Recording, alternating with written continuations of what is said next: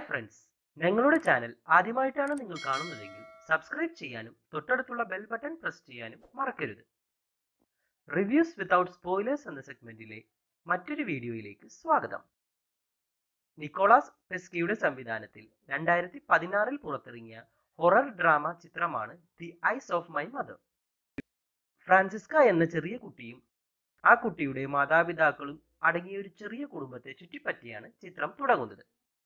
സ്വന്തമായി ഫാമുള്ള അവരുടെ പശുക്കളെ ശസ്ത്രക്രിയ ചെയ്യുന്നതും കണ്ണുകൾ എടുക്കുന്നതുമൊക്കെ ചെയ്തിരുന്നത് ഫ്രാൻസിസ്കയുടെ അമ്മയാണ്.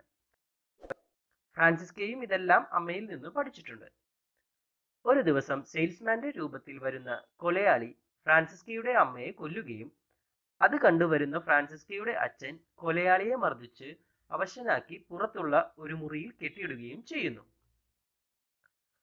ഫ്രാൻസിസ്ക പതുക്കെ ആ കൊലയാളിയുമായി അടുക്കുകയും കൊലയാളിയുടെ കണ്ണ് ചുഴന്നെടുത്ത് തുന്നിക്കെട്ടുകയും ചെയ്യുന്നു. വർഷങ്ങൾക്ക് ശേഷം ഫ്രാൻസിസ്കയുടെ അച്ഛൻ മരിക്കുകയും ഫ്രാൻസിസ്ക ആളുകളെ കൊല്ലുന്നതിലൂടെ അവളുടെ സന്തോഷം കണ്ടെത്തുകയും ചെയ്യുന്നു. പിന്നീട് അവൾ ചെയ്തു കൂട്ടുന്ന കാര്യങ്ങളെല്ലാം കോർത്തിണക്കിയാണ് ചിത്രം ഒരുക്കിയിരിക്കുന്നത്. വ്യത്യസ്തമായ രീതിയിൽ ഒരുക്കിയിരിക്കുന്ന ഒരു സിനിമയാണിത്. താല്പര്യമുള്ളവർ കണ്ട് എക്സ്പീരിയൻസ് ചെയ്യാൻ ശ്രമിക്കുക.